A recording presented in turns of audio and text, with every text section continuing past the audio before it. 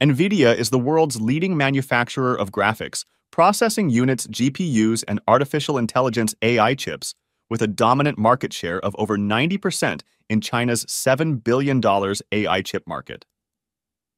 However, the U.S. chip giant has faced increasing challenges from the U.S. government's export restrictions, which have blocked it from selling some of its high-end AI chips and gaming chips to Chinese firms. The announcement comes amid the escalating tensions between China and the U.S. over technology and trade. The U.S. has imposed sanctions on several Chinese technology companies, such as Huawei and SMIC, restricting their access to advanced chips and software.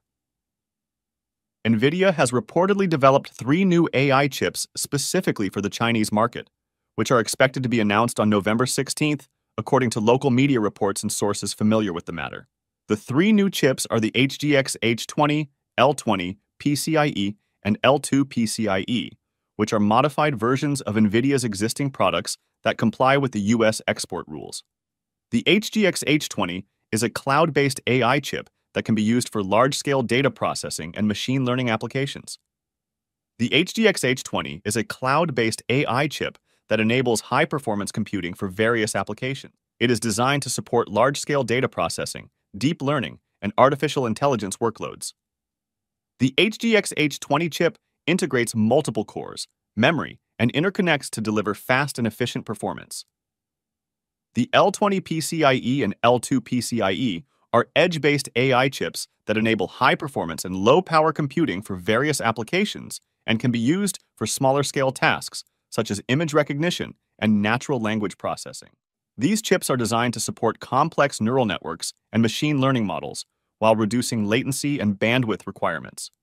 The L20 PCIe and L2 PCIe can be integrated with existing edge devices, such as cameras, sensors, robots, drones, and more, to provide real-time intelligence and insights. The L20 PCIe and L2 PCIe are ideal solutions for edge AI scenarios, such as smart cities, smart factories, smart retail, smart healthcare, and smart security. The performance of these new chips is said to be lower than the original versions, but still competitive in the Chinese market. But this move by NVIDIA is seen as a strategic attempt to maintain its foothold in China, which is one of its largest and fastest growing markets. China has been investing heavily in developing its own AI capabilities and fostering domestic chipmakers, such as Huawei, Baidu, and Alibaba, to reduce its reliance on foreign suppliers.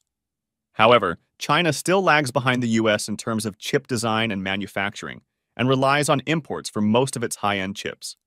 By releasing new AI chips for China, NVIDIA hopes to retain its loyal customers and fend off potential competitors, both domestic and foreign. NVIDIA's main rivals in the global AI chip market include Intel, AMD, Google, and Amazon, which have also been developing their own products and services. However, none of them have been able to match NVIDIA's dominance in China so far. NVIDIA's plan could boost China's AI capabilities and reduce its dependence on U.S. technology. China has been investing heavily in AI research and development, aiming to become a global leader in the field by 2030. NVIDIA's new chips could help China accelerate its AI development and innovation, as well as enhance its competitiveness in various fields such as cloud computing, e-commerce, smart cities, and autonomous vehicles. NVIDIA's new chips could also increase China's dependence on NVIDIA and expose it to more risks of U.S. sanctions and disruptions. However, China still relies on foreign suppliers for high-end chips, which are essential for running complex AI algorithms.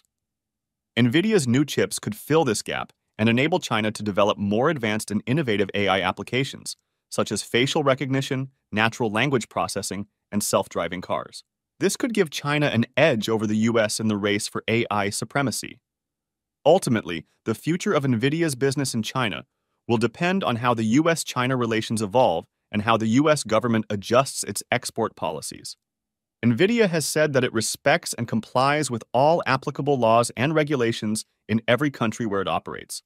However, it remains unclear how long NVIDIA can continue to balance its interests between the two superpowers and how much room it has to maneuver in the complex geopolitical landscape. Let me know your thoughts on this in the comments, and be sure to take a moment to subscribe.